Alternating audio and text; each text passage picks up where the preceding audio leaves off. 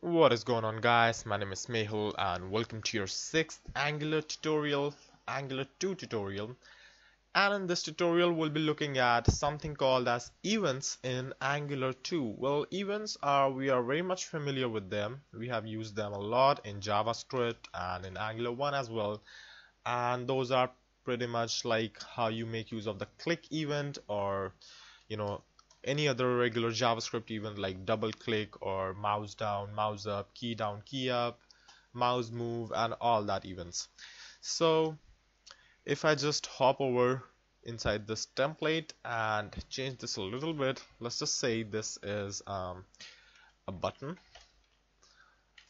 and this simply says that hey there big angular bro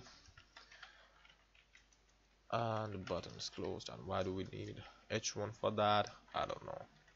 So here we go. And if I look here is the big button. Well actually I have zoomed the page if you can see that. Anyways now how to assign an event to an element? Well there's a bit of syntax change. In Angular 1 what we make use of is that ng click and the function name here but in Angular 2 there's nothing such like.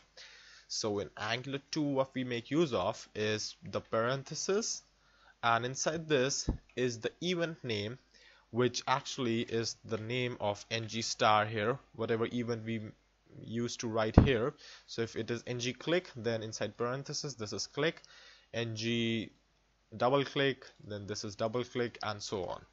So what this ng click means that we are actually registering for a click event. We want something to happen when this button is clicked and what is the function name here? So this would be let's just say mouse clicked me.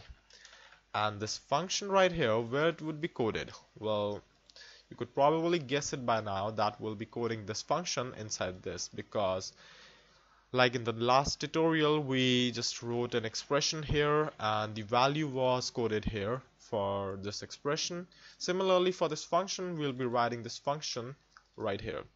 So this is the function and we don't need a function right here you know because we are working in a class. And again I can just simply do like alert. I was clicked. Something like that and if I hop over to this web page again click it. You can see that I got the alert I was clicked. Again again. Similarly you can kind of make a counter out of it by saying that I was clicked times times. And you could just update this this dot times equals 0 or you can just do times equals 0 anyways it's good. And this dot times plus plus. 1 2 3 4 like that. So as you can see now that it just increments it. Well you can make use of the double click as well so that it increments on a double click so if I just simply click it it doesn't update. A simple click doesn't update it but a double click would update it. You can see I have to press it a bit faster. The both clicks. So like you can make use of the mouse move as well. And you see just runs like crazy because every time my mouse moves from one pixel to another this counter increments only on this button. So yeah so you can just pretty much make use of any event right here. And uh, yeah so that's how you work with events in Angular 2 and you can just go ahead and try out any other event but make sure you enclose the event in these parentheses. And yeah before just closing down this video if I just show you what this event is then that would be good. So if I just console log this event uh, let's just change it to click again. So if I just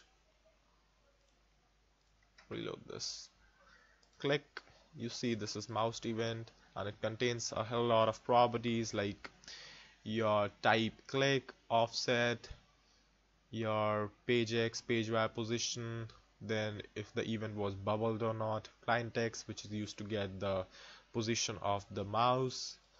Then we have a bunch of stuff as well. So you can you know just probably access all of the properties of this element right there. So yeah it has a target as well. So if I do like event.target then you have virtually the access to this button actually. So you can just get all of the attributes or the HTML or whatever that was associated with this button. So yeah so that's how events work in Angular 2 and that's all for this tutorial. And if you liked it then don't forget to subscribe and thank you for watching